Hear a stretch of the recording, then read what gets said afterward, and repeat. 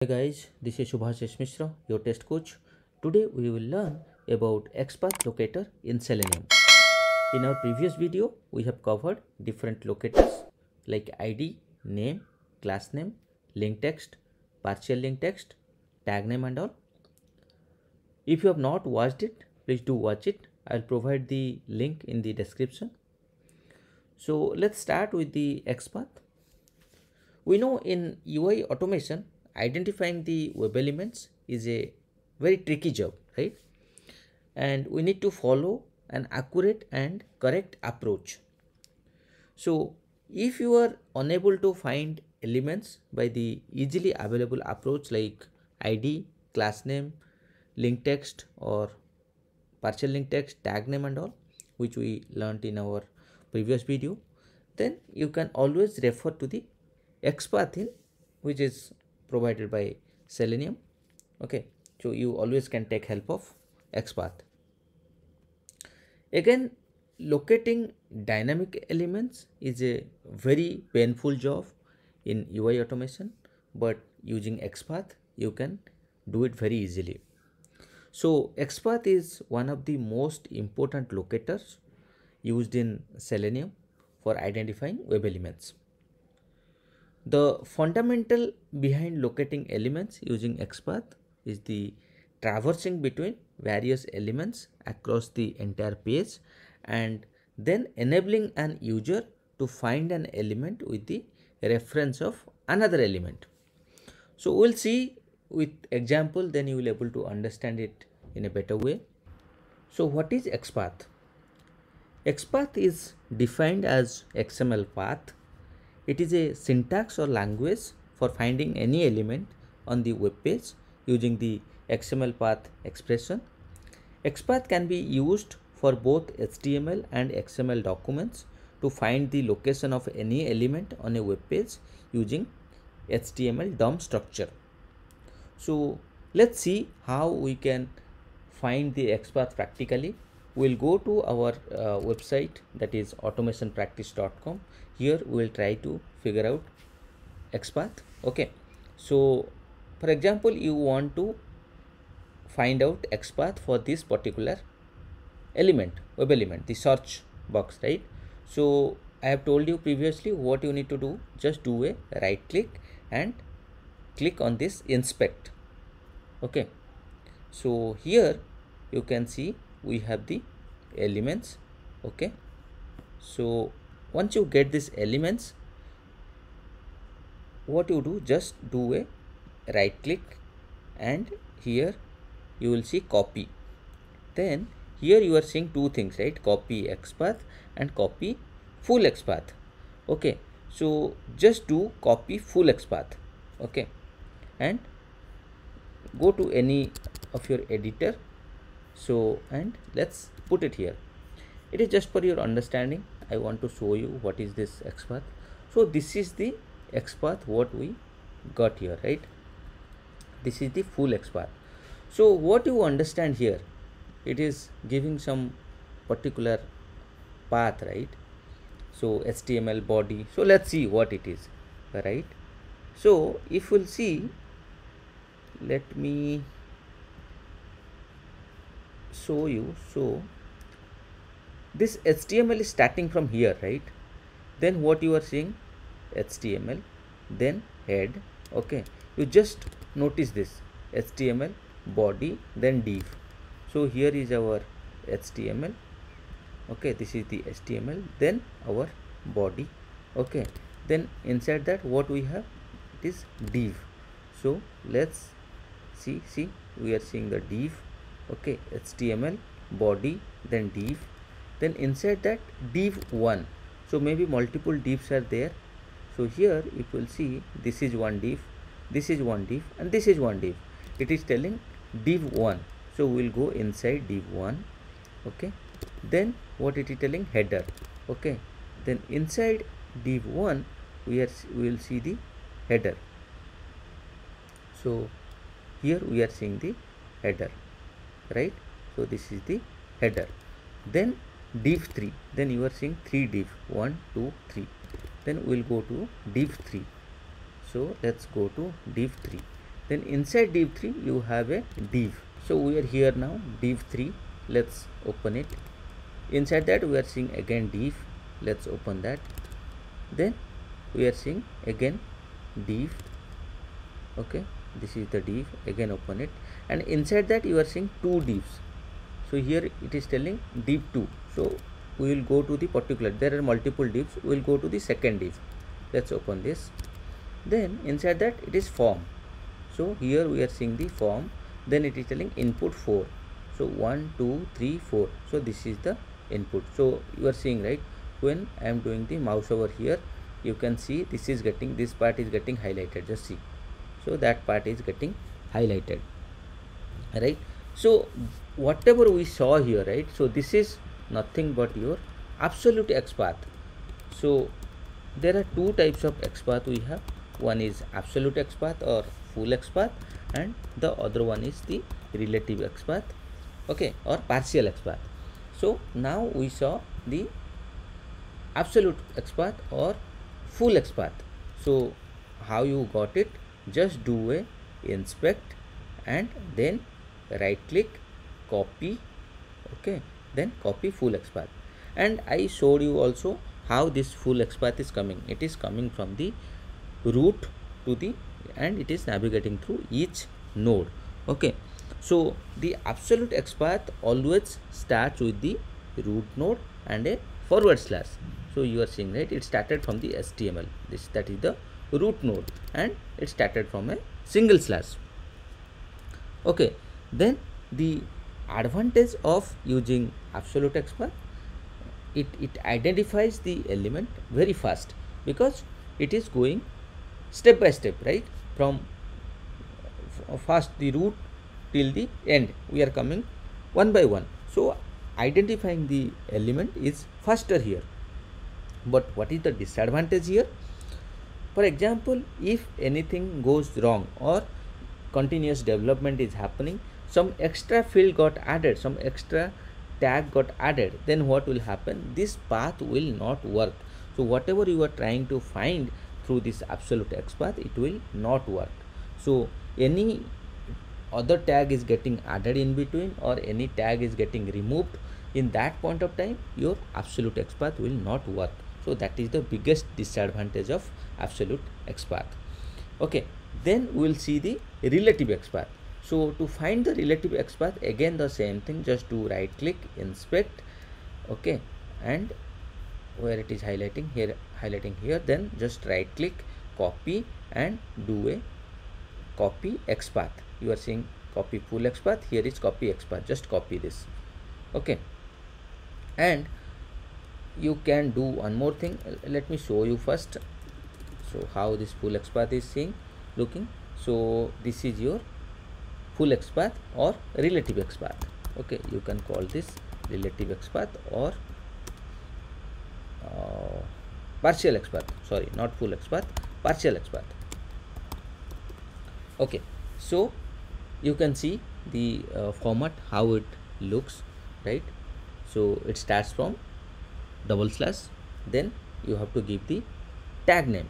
Okay so what is the tag name? Here we are giving star so star is the regular expression which is matching with all tag available in the DOM structure.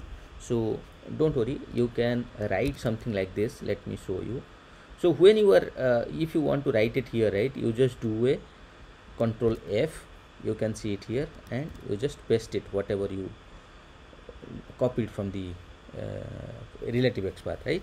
So here you are seeing the complete HTML tag right? So in place of star you can keep star or you can write input also. Not a problem. Okay. Input then we are giving id at the rate id equal to search query top. So where we are finding it? This is the one. And here you are seeing it is giving one of one. Means it is matching with only one. And when you are clicking on this or uh, pressing the enter button then you can see this part is getting highlighted means it is getting identified. So that's how you can identify two relative XPath okay. So a relative XPath is is the one where the uh, path starts from the node of your your choice. Okay. It doesn't need to start from the root node. Okay. So here we started from here only right? We don't really need to start from the beginning. And what you need to do it will always start with a double forward slash okay? What is this double forward slash means? It means it refer to the current node. So here current node is here right? So it refers to the current node. And search will start from the mentioned tag name and string value. So in our case the string value uh, in our case the tag is input and string value is we have taken the id right? Id value is search query top okay. And attribute is id okay. So uh, again this star and this one this both are same actually. You can write like this also. Should not be a problem. Only thing is star is the regular expression which is uh, matching with all the tag available in the DOM structure okay so what is the advantage of writing this kind of XPath so advantage of using relative XPath is you don't need to mention the long XPath so here the XPath was too long right? You don't have to write the too long XPath so it is very small and crisp right? So the XPath is very short here. And uh, you can start from wherever you want you really don't need to start from the root okay? So that is the advantage. And what is the disadvantage? Disadvantage is it will take more time in identifying the element as we specify the partial path not the exact path okay? We are giving the some partial path that is not the exact path. That's why it can take some more time okay? And if there are multiple elements for the same path it will always select the first element that is identified. So that's all about your normal XPath okay so let's see if we can identify with this XPath we'll go to our Eclipse. Okay and uh, previously we have written few things right? So here we don't need to log in. Okay what we will do i'll just comment out this line last in our last video you have seen all these things right? We are trying to first we are trying to sign in then we are trying to uh, verify few things. Now we don't need to do the sign in. We want to find this search box right? So i just what i did here i just gave the url driver.get url and i hope you understand all these things in our previous video so i'm not going through that. If you don't understand that then please do watch the previous videos. You will be able to understand it. Okay so i'm directly writing the xpath here. So driver dot sorry what we need to do here? We need to write the xpath right? So what we'll do driver dot find element okay then by dot earlier we used to write id name and all. Here it will be by dot xpath okay. And here we will write the complete xpath what we have got from here. So this xpath you can just copy and paste it here. Okay. And see xpath we are putting inside a double quote right? So you just put this one in a single quote and this got added automatically. Let me remove this. Okay. So we are finding this and we will try to search something right? So dot send key right? If you want to search something for example we want to search t-shirts. Okay. And let's see what is happening and we will wait for some time after searching. So you will able to see this right? Okay. Now let's execute run as Java application.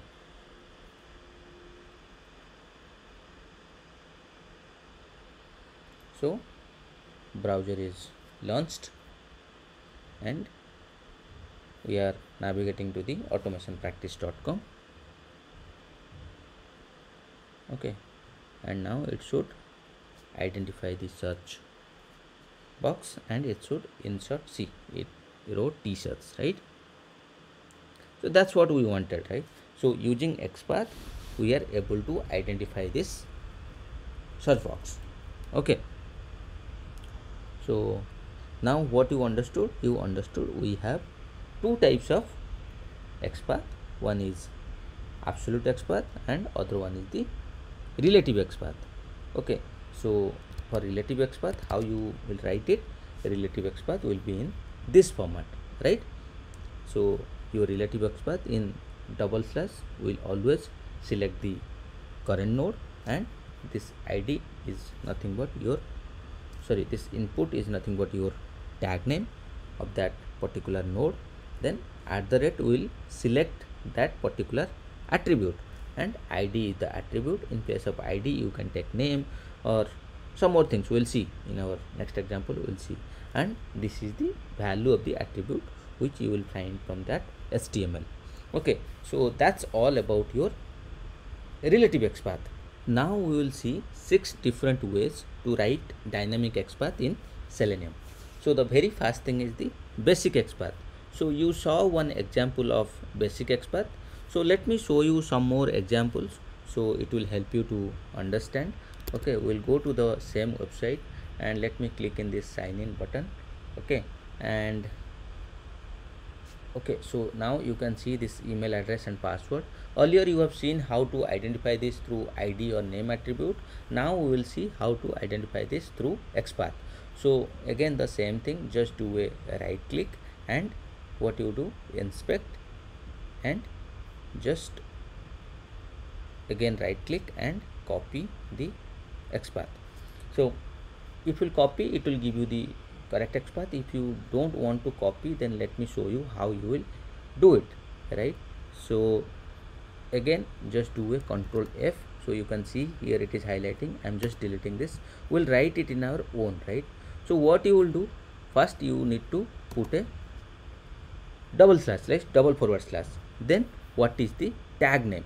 So tag name is input here. So you need to write input. Okay. Then what you will do let me inspect. Okay. So then what you need to do? Class is equal to each required validate account from control. So this is the class name. Data validate is email. Type equal to text. Id equal to email. Maybe this field will be the unique. So we will take the id thing right? So what we will do? So input then bracket. Inside that at the rate id is equal to email right? And now let's see. See it is identifying only one of one. So it means it is identifying the correct thing right? So this is one of the so this is one of the x path right? So similarly you can write we can try this right? So with the class name it is working or not if you want to see that right? So what we will do just to inspect.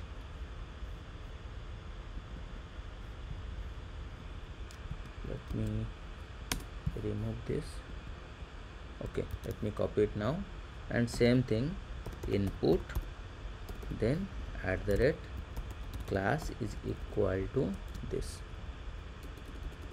Okay see what we are seeing here 3 out of 3 so if you are giving class is equal to is required validate account input from control then you are seeing three things right? First it is identifying here. The next thing is identifying here. Then next thing maybe somewhere down it is identifying. So three things it is identifying. So this is not correct. You cannot use in this way. You have to give a particular thing which will identify only one. So if you try to give this data validate equal to is email let's see. Let's do that. Data validate is equal to is email. Let's give that. The value is is email. If that is identifying. See this is also identifying two things. So this will also not work. Right? So what we will do? The other thing is type equal to text id equal to email name equal to email. Maybe name we can give. Maybe name will be unique. So you can give name is equal to email. Give the exact thing. See? Okay this is also true.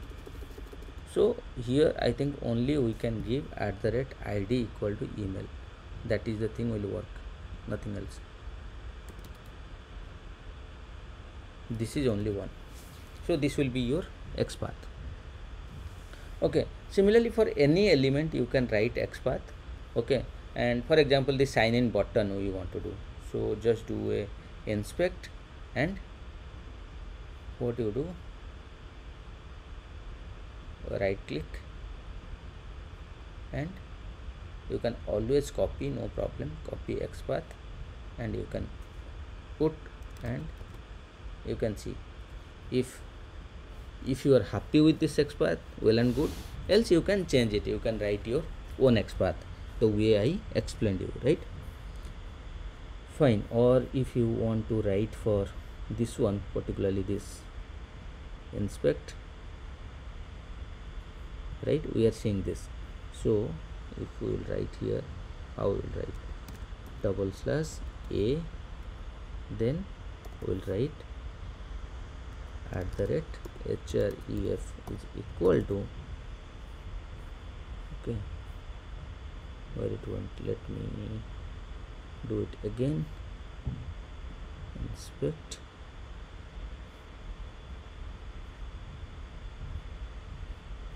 Okay this is the value right? We will give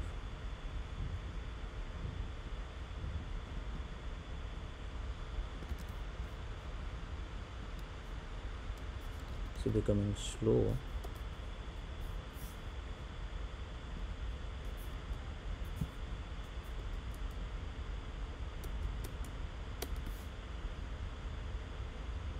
Okay see it is identifying only one and if i'm highlighting this it is identifying this link. So this is working fine. So this is also one way to uh, write the xpath i can copy it here so you can see so this is also one xpath so these are the basic xpath format how you can uh, write it. The next thing we will try to understand that is using contains. Okay. So how you will able to find xpath using contains. So contains is a method used in XPath expression. Okay. It is used when the value of any attribute changes dynamically. For example let's say id for the login field which is uh, for instance it is something like email underscore 01 for the second instance email underscore 02 so in that kind of case right we can use contains. So contains feature has an ability to find the element with partial text. So let's see with the example so you will able to understand it. Okay. Let's go to the same thing. And what we will do we will take this field. So just do a right click and inspect. Okay so this is getting selected right? And here what you are seeing see id is equal to email underscore create right?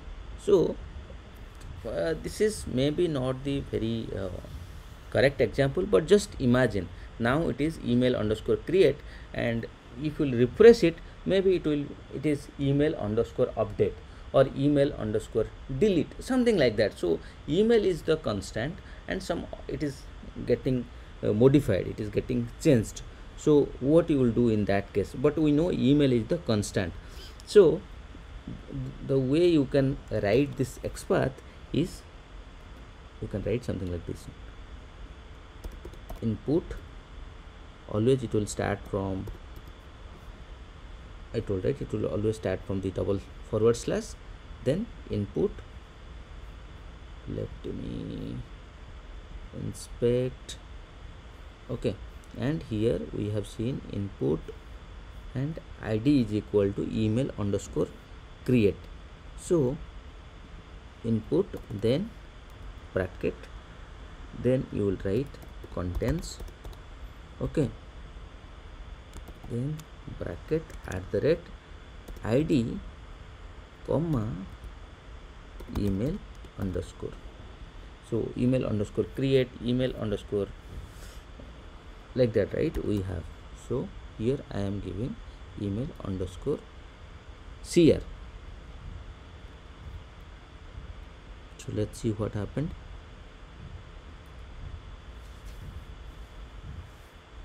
and I need to put it in a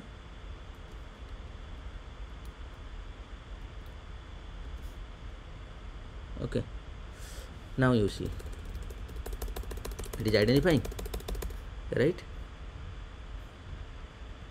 So you can ask me I, I can directly put right email underscore create what is the problem? But I told right the particular scenario when this field is dynamically changing in that point of time you can use contains. Else if it is not dynamically changing then maybe you can use the uh, basic XPath right? You don't have to use contains. So contains you can only use when it is dynamically changing the attribute value is dynamically changing. In that time it is very helpful. We know now it is email underscore create tomorrow if it will email sorry uh, in the next when you will uh, refresh the page maybe if it is changing to email underscore update something like that. In that case you can give contains at the rate id email cr or email i can give just email underscore. So partial it is taking the partial text. So that is important right? So that's how you can use contains. Okay let me put it here. Sorry. So it will be helpful for you. Okay this is the example of contains. Now we will understand one more way of writing XPath using or and and operator. So it will be something like or and and. Okay. So these are the logical expressions are used on attribute condition. So in or expression two conditions are used whether the first condition or second condition should be true it is also applicable if one condition is true or maybe both are also true. So what it means? It means if any one condition is true then we will able to find the element. Okay. Let's see with an example. If we'll try to find out XPath for this so let's inspect and now we see id equal to email name equal to email. So what we'll write if id equal to email or name equal to email. We'll write something like that. So i'll write input then at the rate id is equal to email or at the rate name is equal to email. Right see? It is identifying two things right? It is identifying two things. One is here and one is here. Why it is identifying two things? Because it is matching both the conditions right? We are telling id equal to email or name equal to email. For example we'll give something like this. Name equal to email 1 okay let's see how many it is matching. See now it is matching only one because in this case the condition is correct. It is matching with id equal to email. Okay but name should be also email which is not correct but one condition is correct. That's why it is matching right? So any one condition earlier both the conditions were matching then we are getting two attributes now only one condition is correct and whatever condition is correct we are getting for that attribute right? So this is how you can use or. But if we use and right? Let's go and use and. Let's see what is happening. If we use and see it is identifying only this. Because it is telling id should be email and name should be also email. For example we'll give id equal and in this case in and case both the conditions should be true. In or case either of the conditions should be true or if both are true also fine. But in the and case both the conditions should be correct. If i am giving id equal to email and name equal to email 1 it means the condition is not matching. It will not match anything. See it is showing 0 out of 0 it is not matching anything. But if i put only email then it will match the correct one right? So that's how it works right? So that is the main difference between or and and and you can use both depending upon your need right? So let me put this for you. Okay and if you want to use or you can just put or? Okay. Now we will learn one more way of writing XPath that is using starts with function. So this is similar to the contains method. Only difference is the comparison value here starts with an initial string value. This is helpful when partly value changes for a given attribute. If attribute value changes on page refresh or page reload and the starting of the text remains constant. Then you can use starts with function. I'll give you one example. For example your organization id or employee id right? If it is starts from your organization name okay? So for example i'm telling company name is xyz then xyz hyphen 1 or xyz hyphen 2 xyz hyphen 3 so you always know that the first uh, few uh, text or few uh, characters will be your organization name. So we know that. So it will always starts with xyz so if we'll try to though the values will change but still these starts with value will not change. So in that time we can use this starts with function to identify any element. So mainly again it is helpful when we are trying to find uh, some element which is getting generated dynamically right? So let's see with an example then you will able to understand it. So let's identify this popular field right? Let me inspect. So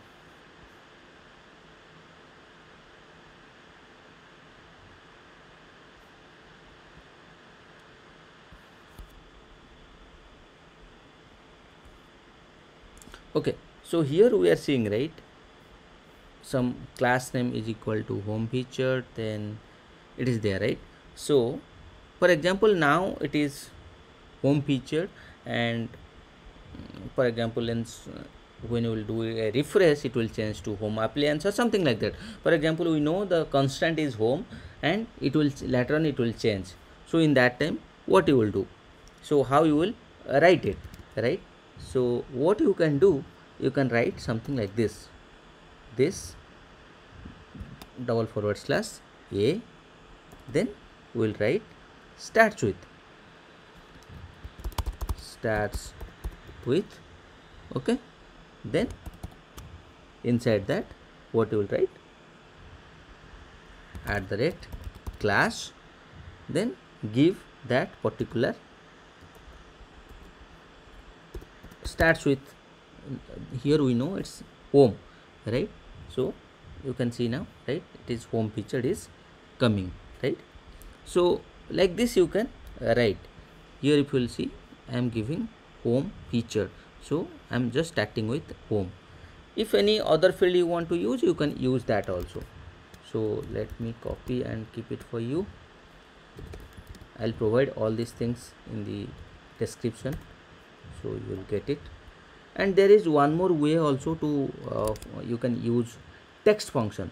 So here you can see right the text is popular. So we have few we have one attribute then we have few uh, sorry we have one tag name then we have few attributes attribute values. Then finally we have one text also popular text. So how you can use this text if you don't want to use this attribute you can do that also.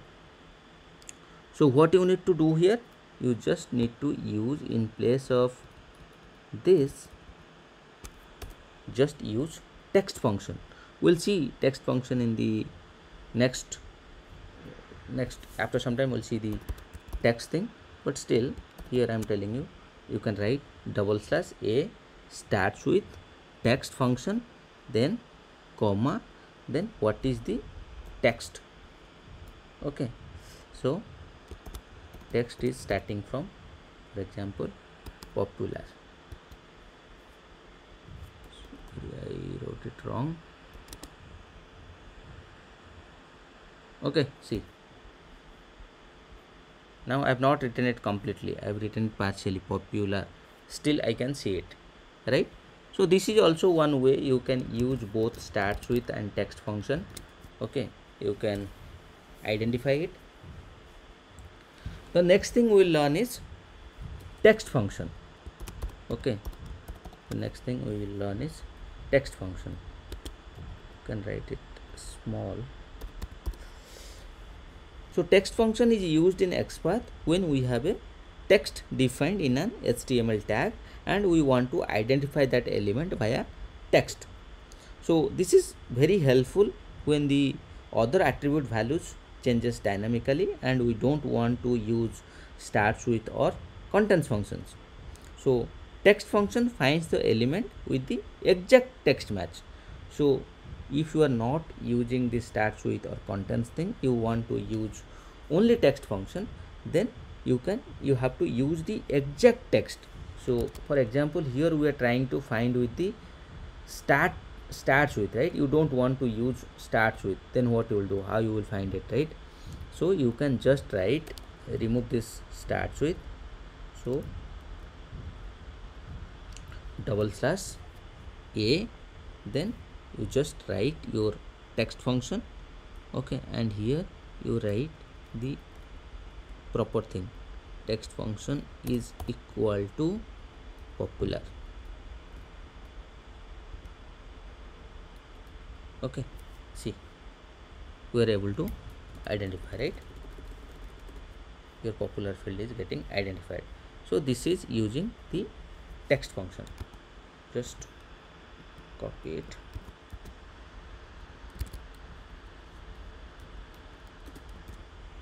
But make sure you have the particular text like this and you don't you are not using this whatever attributes you have. For example these attributes not lot of attributes are there and you are not able to identify with the attributes. In that case you can use this text function. Okay. The next thing we will learn how to write xpath using index. Okay. So let me show you that. Okay. So uh, first of all this approach you can use when you want to specify a given tag name in terms of index value whatever you wish to locate. Okay. So let's go to our automationpractice.com so here if i will go to this different kind of dresses we have let me click here. And here we see some dresses like some printed dresses right? So let's try to identify this element. Right click and inspect here. We see this is the html getting highlighted. Then do a control f and we'll try to write xpath from this right? So we are seeing this img is the tag name and we'll try to use this title. Okay so let me copy this and what we will write? Double forward slash then img then at the rate title is equal to Printed Dress so what we are seeing this one is getting selected right? But in the same time we are seeing it is showing one of two. It means two uh, elements are getting selected. So first one and second one. You can see right? The first one is getting highlighted then second one is getting highlighted. So how you will solve this? How you will find only this first element or second element? So here you can use index so to use index it is simple. What you can do whatever xpath you have written here right just keep it inside a bracket. I've started a bracket here ended a bracket here. Then you give the index. To give the index you, you have to give a square bracket like this. And inside that if you want to select the first one just write one. So now you see it is showing one of one. It means only one is selected. And which one is selected see the first one is selected if you want the second one then you just write 2 then what is selected the second one is selected right so this is how you can use index and you can find the element using the XPath. So this is also one way. This is how you can use index in your XPath. Okay. Then we learn about XPath axes. So XPath axes helps in locating complex elements by traversing them through a sibling, child or parent of other elements that can be identified easily. We have these are the very uh, commonly used axes like child parent following preceding ancestor. Okay. So child is used to select the child nodes of the reference node. Parent is used to select the parent node of the reference node.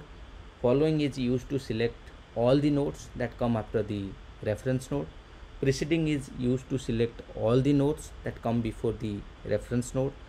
Ancestor is to select all the ancestor elements before the reference node. I'll create a separate video to explain you in each XPath axes okay? So for now it's not that urgent. You can still utilize whatever XPath you learned now okay? So uh, finally I want to tell you one more thing which will be uh, very uh, helpful for you and you'll be uh, very happy to know that. So here whatever I explained right all these concepts how to create XPath using different techniques and all you should understand that very well. That is only for your understanding purpose. You should understand you should know how to write XPath that's all. But practically when you are writing XPath in your job or in your company you can always use some good tools which will write XPath for you so you can save your time and uh, write more test cases rather than spending lot of time in writing XPath and all. And so it will make your work fast also. So one such tool is a selector hub. I'll show you that very quickly uh, but uh, before to that i have created a separate video on selector hub how to install it and how to use it. I'll provide the video link in the description. You can go through that uh, video for complete understanding.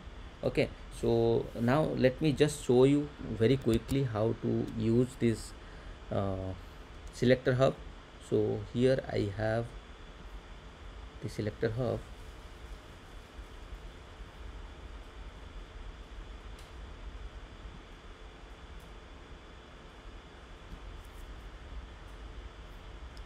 So here you can see the selector hub